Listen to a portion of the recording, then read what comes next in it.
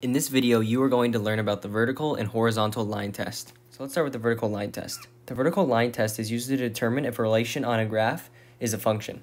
So it works by drawing a vertical line that is parallel to the y-axis.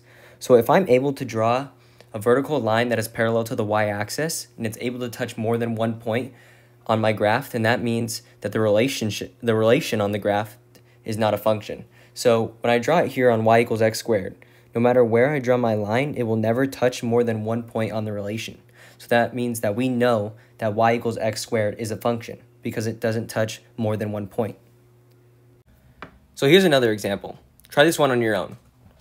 So if I draw any line on this, is there any going to be any point where it hits two points? So if I draw a line here, it doesn't hit two points. If I draw a line here, it's not going to hit two points. If I draw a line here, it's not going to hit two points. So this function is a function because it doesn't go through more than one point. If it went through more than one point anywhere on this, it wouldn't be a function. Here's another example. In this one, we have x equals y squared. So let's do the vertical line test to determine if this is a function. So I draw a line right here. We can see that this goes through two points. And we know that the vertical line test tells us if it goes through more than one point, our line that's parallel to the y-axis, then that means it's not a function. So now that you guys know what the vertical line test is, I want you guys to get a fundamental understanding of how it works. So in order to do this, we need to know the basic rules of functions.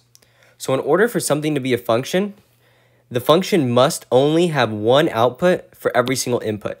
And this is extremely important uh, for the vertical line test. So we can see this if we uh, use the example x equals y squared. So in x equals y squared, if we plug in 1x, let's just say 4 for this example. If we plug in 4, what is y? Well, we know that negative 2 squared is 4. And we also know that 2 squared is 4. So that means there's two possible y values for our function. So when we plug in our x, there can be either negative 2 or positive 2.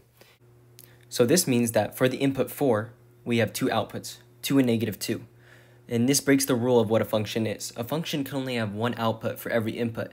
But for this one, we have one input, which is 4, but we have two outputs, 2 and negative 2. And we can see this graphically. When I draw a vertical line, which is basically doing the vertical line test, we see that it goes through 2 and negative 2, which are both of our outputs. So now that we talked about the vertical line test, let's talk about what the horizontal line test is. So the horizontal line test is used to test whether or not a function has an inverse function or not. And so if we take a look at the example, y equals the absolute value of x, we can draw a horizontal line that is uh, parallel to the x-axis. And if this line that's parallel to the x-axis goes through more than one point, then that means the function does not have an inverse.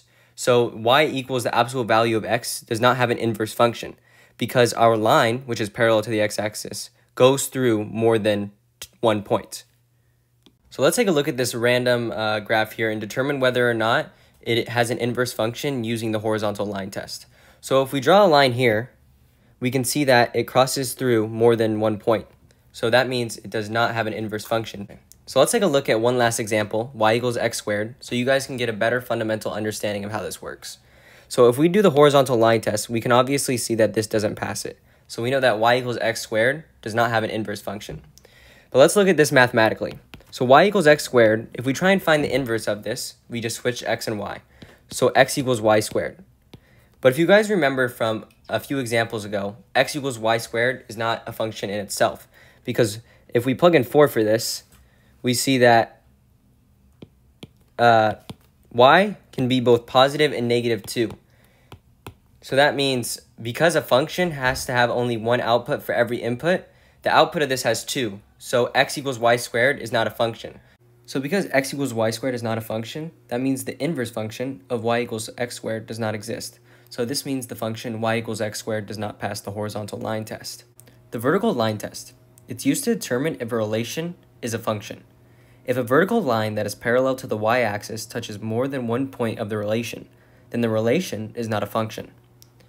So the horizontal line test. It's used to determine if a function has an inverse function. So if a horizontal line that is parallel to the x-axis touches more than one point on the function, then the function does not have an inverse function. Thanks for watching today's video and subscribe for more math help.